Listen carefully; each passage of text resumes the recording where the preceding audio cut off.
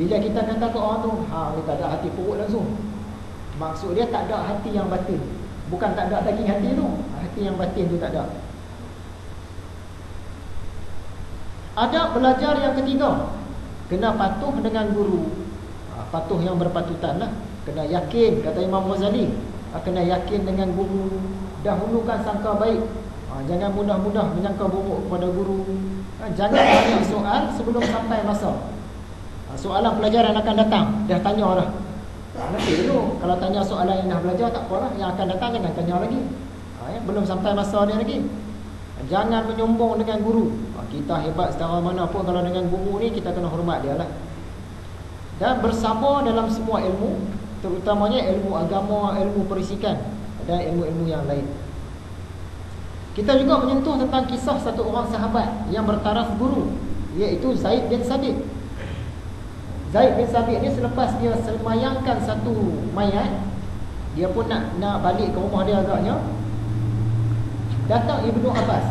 Ibnu Abbas ni dia sepupu dengan Nabi. Maksud dia dia ni ahlul bait lah. Dia taraf dia keluarga Nabi. Dia tu keluarga Nabi tapi dia bawa mai kenderaannya, kuda dia, dia nak bagi Zaid bin Sabit naik. Zaid kejut dia. Kamu ni keluarga Nabi, orang kena hormat kamu. Kenapa kamu hormatkan aku? Kita macam ni lah Nabi ajarkan ni hormat kepada guru-guru.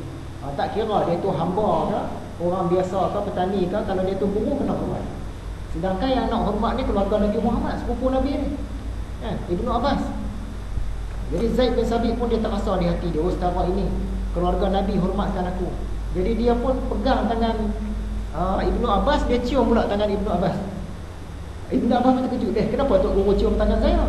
Uh, macam ni lah kami disuruh oleh Nabi supaya hormat kepada keluarga dia. Jadi Ibnu Abbas ni keluarga Nabi Muhammad.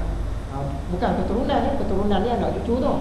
Ha, hari tu tersilap cakap kata keturunan bukan keturunan keluarga. Seketurunan keluarga Nabi Muhammad. Jadi adab kita dengan keturunan Nabi Muhammad ni sampai sekarang pun ada keturunan Nabi Muhammad.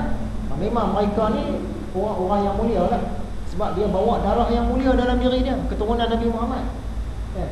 ha, sungguh pun begitu kalau mereka ni ada buat maksiat buat kesalahan ha, dia punya dosa tu lagi teruk Ha, dia punya maruah pun lagi jatuh daripada kita. Kalau kita orang biasa curi RM10 berbanding dengan keturunan Nabi Muhammad dia curi RM10 ha, lagi teruk dia. Kalau dia buat maksiat dia lagi teruk daripada kita. Dan yang terakhir cerita tentang darah. Keturunan Nabi Muhammad ni dia bawa darah Nabi Muhammad sebab itu mereka ni mulialah salah satu sebab dia. Tapi dalam masa yang sama kita juga kena ingat kita pun ada juga bawa darah yang mulia. Ha, paling-paling kurang dalam diri kita dia ada genetik, ada darah Nabi Adam. Darah yang mulia juga tu. Semua orang ada darah Nabi Adam. Paling-paling kurang pun kita mungkin ada darah Nabi Nuh. Ha, sebab selepas banjir besar hari tu tak ada orang lah di muka bumi ni. Kata sebahagian pendapat yang ada keturunan Nabi Nuh lah dengan keluarga-keluarga dia, dengan sahabat-sahabat dia. Jadi darah kita ni mungkin darah Nabi Nuh. Ya. Jadi darah kita ni darah yang mulia juga. Walaupun tak semulia darah Nabi Muhammad. Ha, sebab kita dah tahu dah dalam diri kita ni ada darah yang mulia, maka kita kena jaga baik-baik lah. Oh dalam diri aku ni paling kurang darah Nabi Adam. Ha, tak boleh lah nak pergi buat maksiat ke apa kan? Tak boleh lah. Kena jagalah darah yang ada yang sedang kita kandung ni. Ha, begitulah tadi ha, kita punya ulang kaji. Ha, sekarang barulah nak masuk kepada pelajaran hari ini.